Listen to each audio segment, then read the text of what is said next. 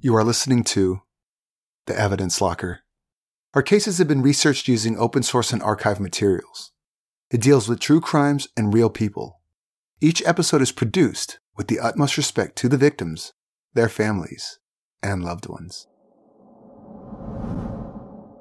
When Andrew Moeche met Eunice Chepkwony at the Kenya Police College in Kiganjo, he was immediately attracted to her. He told her how he felt and he was over the moon that she felt the same. Before long, the two trainee police officers were having a passionate relationship and promised each other that no matter what happened, they would one day end up together. But sadly, that was easier said than done. After their training, they were split up and stationed at police stations far away from each other. They tried to maintain a long distance relationship, but as only a few people owned cell phones in Kenya in the early 2000s, communication was a problem. They called each other from payphones, sometimes from work. Their schedules also didn't allow for leave at the same time, and eventually their relationship fizzled out. Their promise to end up together was always at the backs of their minds, even when both of them married other partners and started families. As fate would have it, their paths crossed again in 2006, when they were both posted at the Eldoret Town Traffic Office. As soon as they saw each other, their feelings for each other were reignited. They still loved one another after all this time. They were both married with children, and Eunice did not want to leave her husband. But she also could not stay away from Andrew. Their affair would come to a boiling point during one of the most turbulent times in Kenyan political history. This is a love story gone terribly wrong in a time and place when it seemed like everything in the world had turned upside down.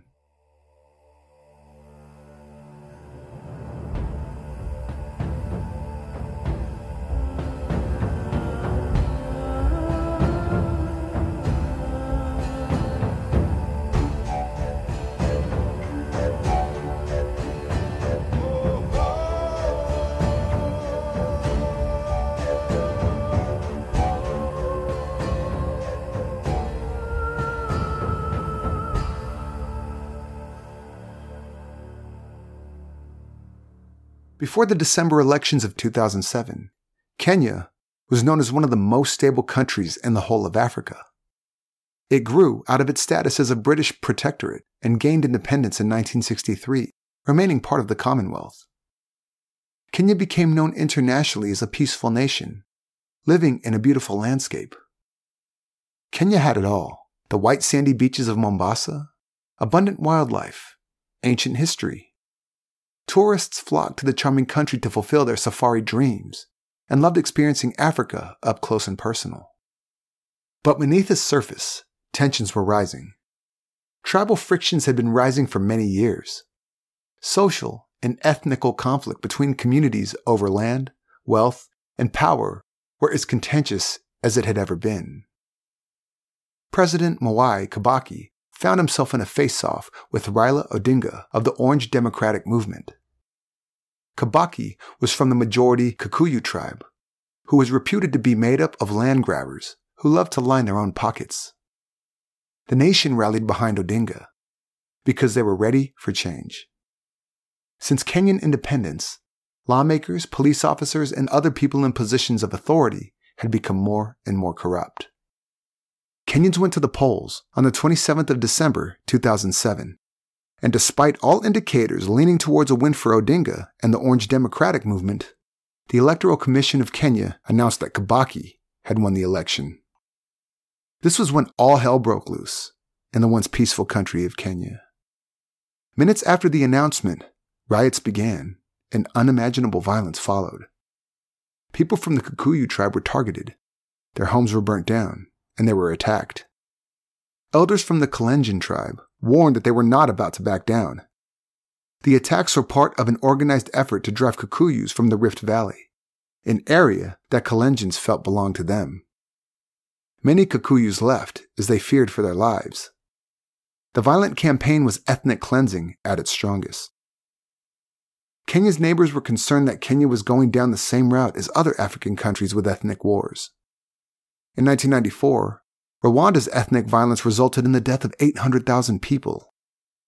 Kenya was in a state of chaos, and international companies withdrew their staff and operations from the country, and the tourists canceled their trips. In a matter of days, the economy had already suffered a huge blow. By the end of January, more than 800 lives had been lost as a result of the riots. And the follow on of the attacks brought even more social problems with them. People were forced from their homes, and hospitals were bursting at the seams. In one attack, a group of Kikuyu women and children took refuge in a church that was burnt down by protesters.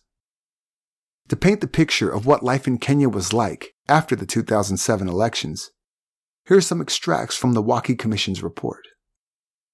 According to reports, including witness testimony, mattresses and blankets were set ablaze with petrol and thrown into the building, while mothers and babies who were trying to flee the inferno were pushed back into the church. Kikuyu men attempting to defend their church and loved ones were hacked to death with machetes, shot with arrows, or pursued and killed. The death toll for this horrific incident was 17 burned alive in the church, 11 dying in or on the way to the Moi Teaching and Referral Hospital, and 54 others injured who were treated and discharged.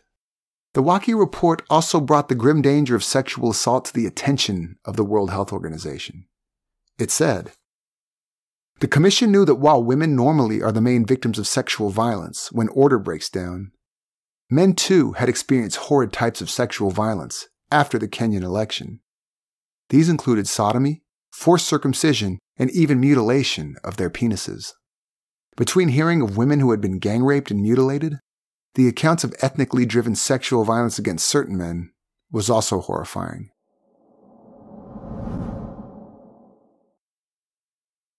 At the center of the violence in the Rift Valley was Eldoret Town.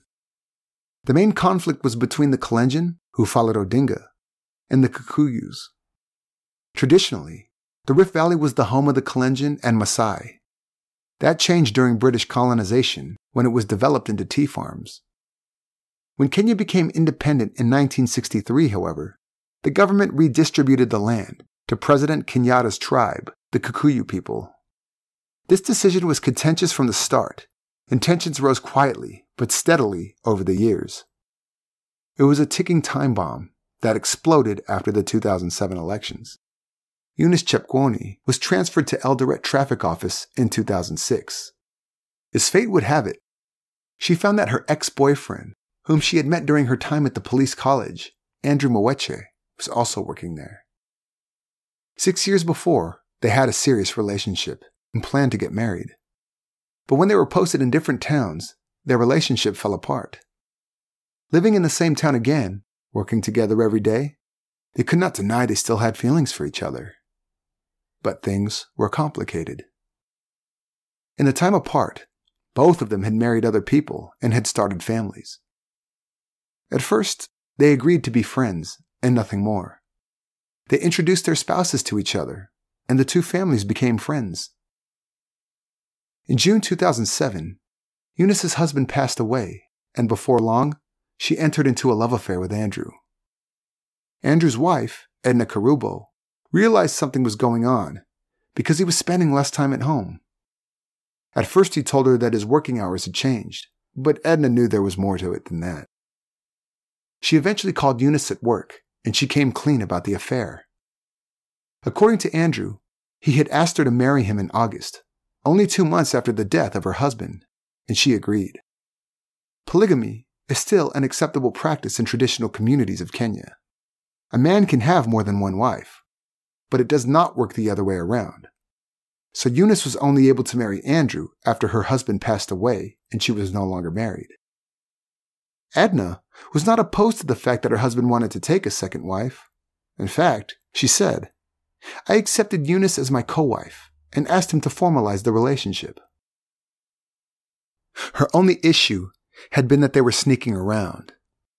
But if they would formalize it, she was on board.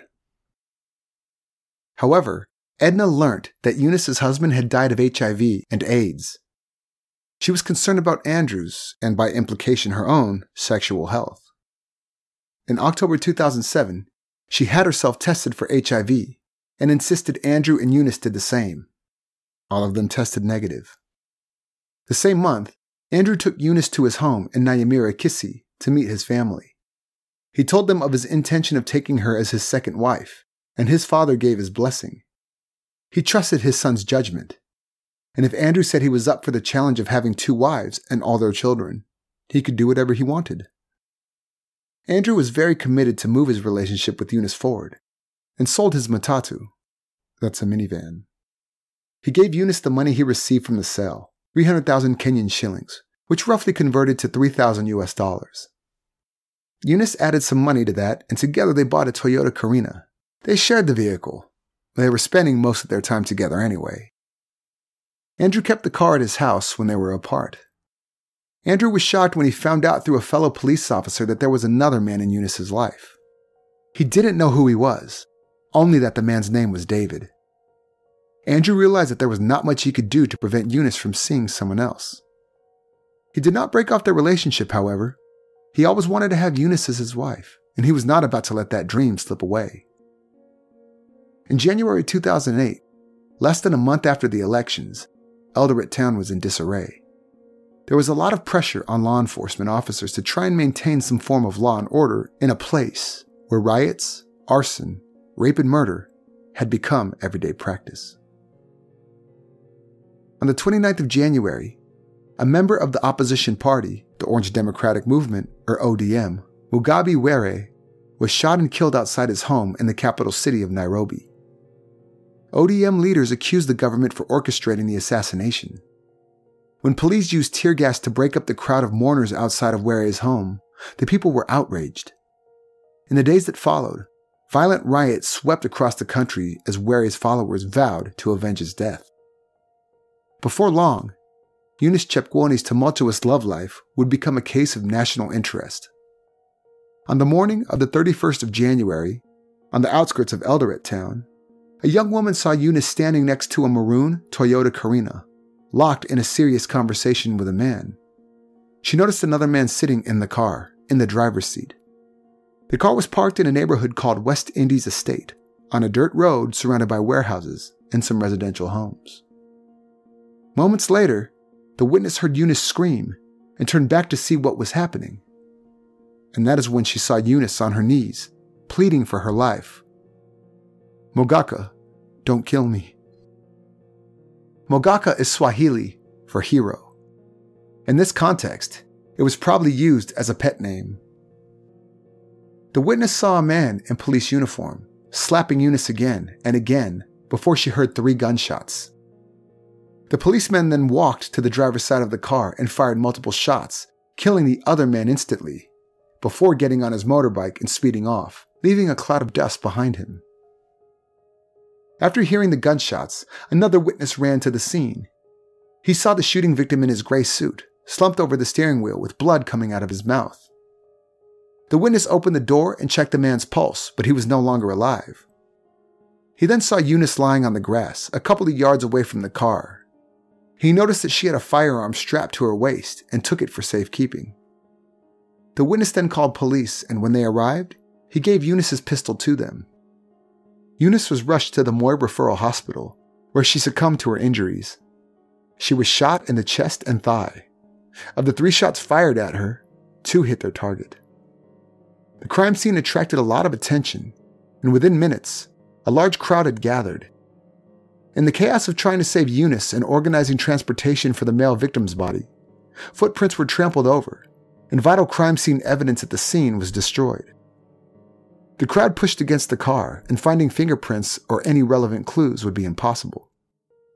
The male victim was identified as local opposition politician and member of parliament, David Too. At the height of the tribal conflict, Eunice found herself in a deadly love triangle.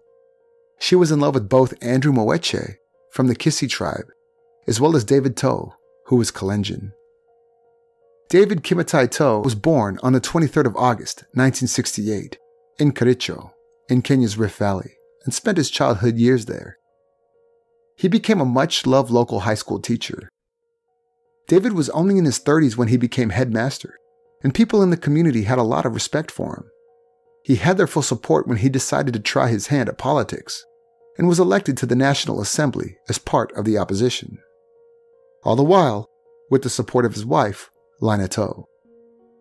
Member of Parliament Charles Keter described David as a very humble, quiet man. But when David's name appeared on the list of alleged perpetrators who incited and financed violent attacks after the 2007 elections, it polarized him as an activist rather than a politician. He was quoted to have urged the people from the Rift Valley on more than one occasion to remove the stains from the region, meaning the non indigenous people. Eventually, he would be remembered for his private life rather than his political impact. His fate forever sealed alongside the memory of traffic officer Eunice Chepkwony. On the same day as the killings, Eunice's boyfriend, Andrew Moeche, turned himself in to law enforcement at Turbo, a couple of miles northwest of Eldoret. He confessed to the murders, saying that it was as a result of a love triangle. Andrew made a statement explaining what led to the murders. He said that he was on patrol when he saw the vehicle he co owned with his lover in West Indies estate. Eunice was standing by the trunk of the car, and according to Andrew, he assumed she had car trouble he got off of his motorbike, and as he approached her, it became obvious that she was upset. Andrew greeted her. David Too got out of the driver's seat of the car and asked Eunice, Is this the guy that's been spreading rumors about you? Eunice confirmed it to David and confronted Andrew for telling fellow police officers that she had tested positive for HIV. Before Andrew could answer, he saw that David was pointing a firearm at him David wanted to know why he was talking nonsense about Eunice behind her back. Then, according to Andrew's version of events, he heard two gunshots. Fearing for his life, he shot at David, who fell to the ground. Despite being injured, David then managed to get up and made it back to the car where he got into the driver's seat again. Eunice and Andrew both went for David's firearm that was still on the ground. Eunice held it to her stomach, while Andrew tried to wrestle it off of her. In the scuffle, he heard two gunshots. A second later, Eunice collapsed. Andrew believed that Eunice had accidentally shot herself. Andrew's statement did not make a whole lot of sense. Firstly, the witness said that she saw Eunice's service pistol on her waist after she had fallen. Eunice did not have another weapon in her hands as Andrew claimed. The witness also said that she did not see David and Andrew talking to each other at all, and that the confrontation was between Eunice and Andrew while David was in the car. However, a forensic examination found that David was shot in the abdomen, the chest, and head, and it was ruled that it was unlikely that he was shot while sitting down. He was probably shot a couple of times while he was standing outside the vehicle, then tried to make his escape before he was shot through the window. That meant that Andrew's story was true, in part. What he did not disclose was that he had walked up to David and finished what he had started. The pathologist concluded that Eunice was in an upright position, defending herself when she was shot. Ironically, her engagement ring had a circular bullet hole with an upward trajectory, proving that she was kneeling, looking up at Andrew, begging him not to shoot her when he pulled the trigger. Although the crime scene was not preserved after the shooting, police did their best to process it. They could not find any other gunshot evidence to fit Andrew's statement. In fact, what they found was that only Andrew's Ceska pistol was fired at the scene. Eunice's pistol wasn't in its holster anymore, so they could not determine if Eunice had pointed it at Andrew or not. A witness confirmed that he was the one who had removed the pistol from the holster when he found her to prevent onlookers from taking it. Remember, it was a time of anarchy and violence. If a firearm was up for grabs, chances were it could have fallen in the wrong hands. But something was still not adding up. Police had to build a case against one of their own, and with the political unrest of the time, nothing was straightforward anymore. Because the forensic findings did not corroborate the witnesses' statements, police decided that the testimony was unreliable. According to the witness, she never saw David leave the car, but the trajectory of his gunshot wounds proved that he was shot while he was standing. It is possible that David got out of the car in the time that the witness was walking away from the scene, and perhaps she did not see him. By the time she returned, he was back in the car and probably deceased. If all shots were fired while he was in the car, there would have been more bullet holes, which there were not. Investigators also believed that had David still been alive while Eunice was pleading with Andrew not to shoot her, he would not have stayed in the car, waiting for her to get killed. Still, prosecutors felt that because of the discrepancy in facts, the witness testimony would not stand up in court. Police were able to determine that Andrew was not on patrol at the time of the murders. He was on duty, yes, regulating traffic on Uganda Road in Eldoret Town. But a friend had seen Eunice and David driving in Eunice and Andrew's Toyota and tipped him off. Andrew then abandoned his post and followed the car on his government issued motorbike. Once he had caught up with them, they pulled over, and Eunice got out of the car by herself. But because of David Too's high profile position, this was not a simple case of were Andrew Moeche's actions self defense or not. By the time Andrew turned himself in, David Too's death was already regarded as a political assassination. Although the men came from opposing tribes, Andrew insisted that what happened that morning at the West Indies estate was nothing more but a love triangle gone wrong. He said that he did not know the 39 year old David Too, nor did he know that David was a politician. Kenyan government officials were quick to try and squash the idea that the murders were politically motivated, confirming to the media that it was a crime of passion within hours of the incident. The fact that David was shot only two days after his fellow party member Mugabe Were was enough to raise suspicion. David's death also came less than 24 hours after Minister of Internal Security, Professor George Saitoti's shoot to kill order. The order was issued to police to shoot anyone carrying offensive weapons or building barricades on roads. The fact that Andrew was in the police force made a lot of people think that the shootings of David and Eunice were a result of that order. ODM leader Raila Odinga came out and publicly stated that David's murder was, without a doubt, a political act. David Too was killed by a policeman. I condemn this second execution of an ODM member of parliament. The purpose of this killing is to reduce the ODM majority. Opposition leader William Ruto supported this notion and said, How can police call this an ordinary murder before any investigations? There is nothing ordinary about having two members of parliament killed like this. All hell broke loose. The town of Eldoret prepared to be the battlefield for the worst of the tribal conflicts. Shops closed down, and most residents evacuated, fearing that they would become victims of random violence.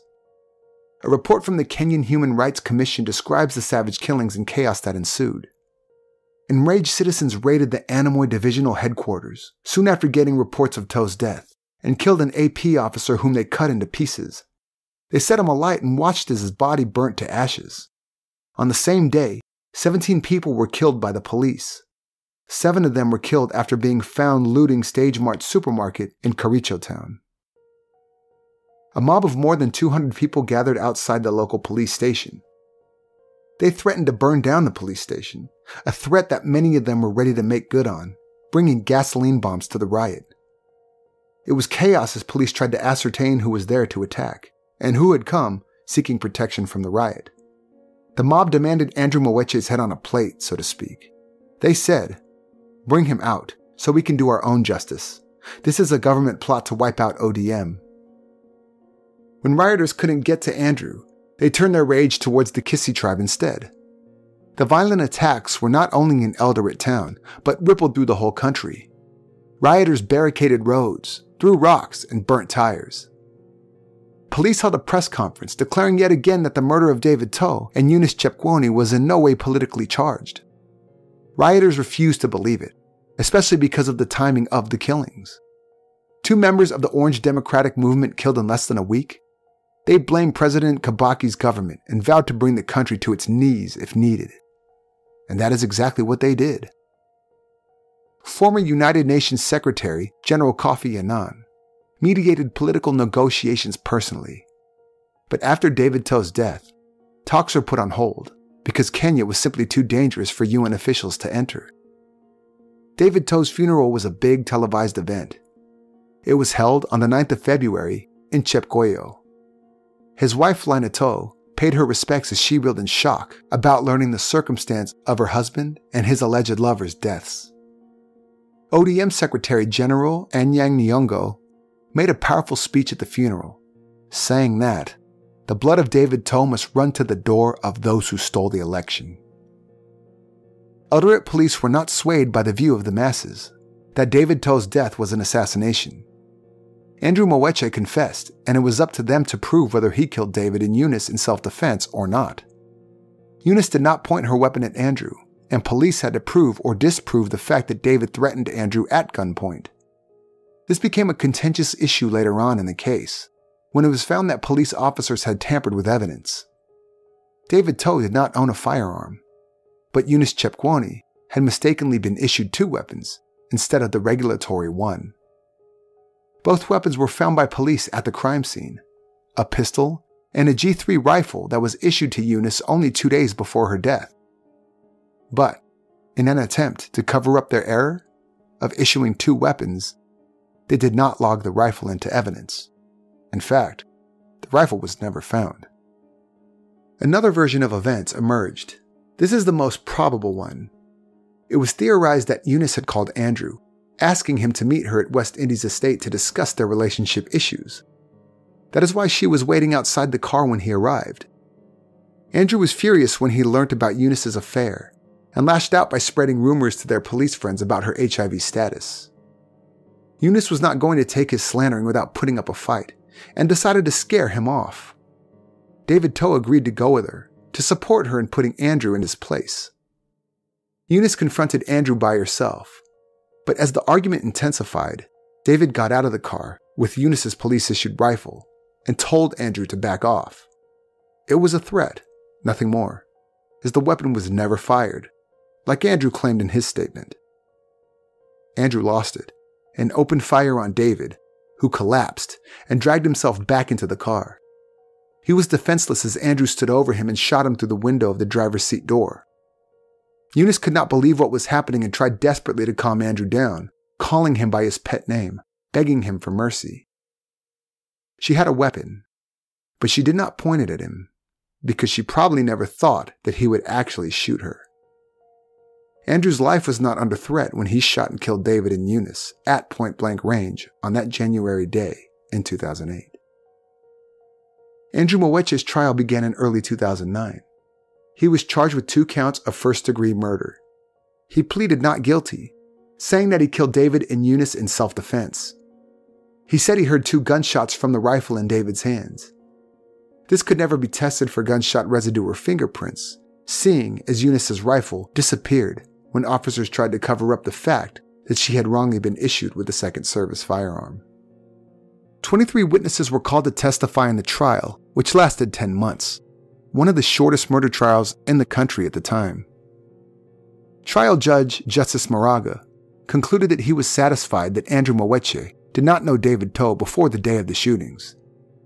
He agreed that David and Eunice had no intention of injuring or killing Andrew.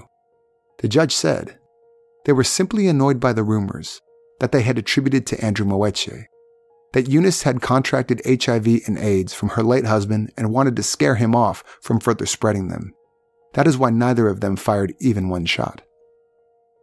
Despite this, much to everyone's surprise, Justice Moraga acquitted Andrew Moeche of murder and instead found him guilty of the lesser crime of manslaughter. He believed that Andrew Moeche had reason to believe that he was in imminent danger. In conclusion, the judge stated Faced with two armed people, I find that the accused was justified in thinking that he was in imminent danger and was provoked to shoot in self defense. Justice Moraga said that Andrew did not act with malicious aforethought, which would have made the crime premeditated murder. The judge felt that Andrew was provoked and acted in his own defense. However, in retaliation, he used too much force, Andrew could have and should have shot them only to disarm them, not in the head or chest so as to kill them. There was also no evidence of warning shots at the scene, proving that his intent was to harm them. Andrew Moeche was sentenced to the maximum sentence of manslaughter, which in Kenya is 10 years in prison. He was handed down two sentences, running concurrently. Most people did not see this coming and thought he was lucky to have escaped the death penalty. David Too's family was disgusted with the outcome and made themselves heard in the courtroom. David's brother said that Andrew Moeche had robbed two families of their breadwinners. His crime of passion had left Eunice's children orphaned and David's children without a father. Andrew Moeche's defense attorney, Gladys Ndenda, said that he was remorseful and has turned to religion while in prison on remand, asking God's forgiveness for his actions. In the next by election, David Too's brother Benjamin Langat won his brother's previous seat. He used his position to go after Justice Maraga, to have him dismissed due to a lack of competence. The case was brought in front of the National Assembly, making it clear that David Too's family felt that justice was not served. David's brother's attorneys argued that the evidence proved Andrew hunted the victims down with the intention of killing them. They also pointed out that there was no evidence whatsoever that David was romantically involved with Eunice. In fact, Benjamin said that David only knew Eunice as a neighbor. He said on the day of the murders, David was on his way to Ainamoi. The implication was that Eunice was escorting the MP in her capacity as a law enforcement officer. Justice Maraga was accused of misinterpreting the evidence, concluding that both David and Eunice had firearms pointed at Andrew, while Eunice's pistol was still in its holster, and she was seen kneeling and begging for her life. There was also no proof that David ever held Eunice's service rifle, let alone point it at Andrew. In his own defense, Justice David Maraga was quoted to have said that he was human after all and bound to err once in a while.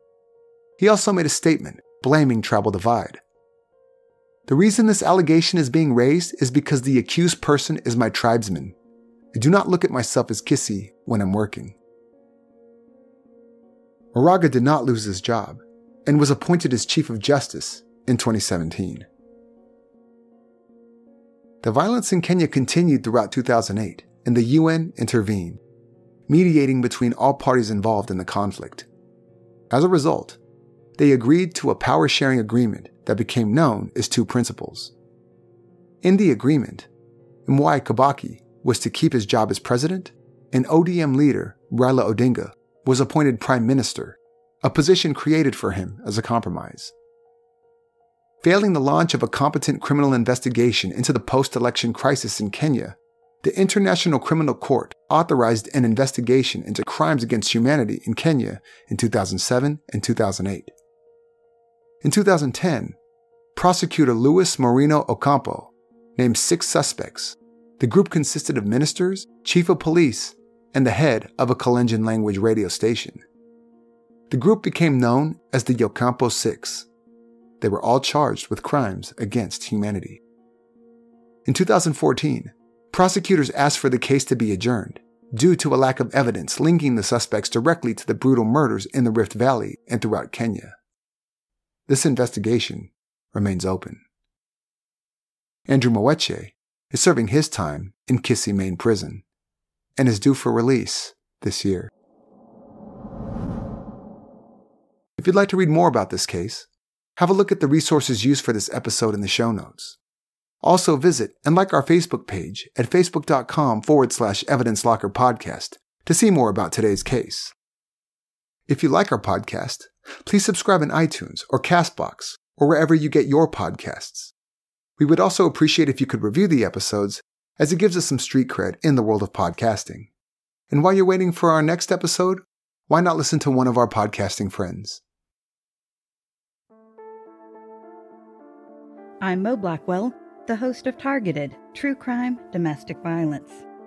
We investigate cases of family violence each season using academic research to help us interpret the events so that we can become better advocates.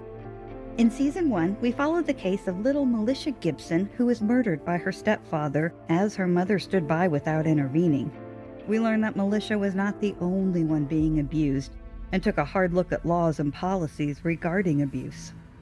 In season two, we're telling the story of Tracy Thurman, who sued her city because police refused to protect her from her abusive husband. We'll also study the case of Joshua Osborne. His case was sensational, replete with a biker gang who rallied to protect Joshua, and new legislation resulting from his case. Josh passed away a few years ago, and two of his siblings agreed to tell his story. Except they've revealed it wasn't just Josh's story. It's their story, too, one that has been suppressed for over a decade. You can find Targeted Podcast, True Crime, Domestic Violence on iTunes, Spotify, and all the major podcatchers. Peace, my friends. Peace.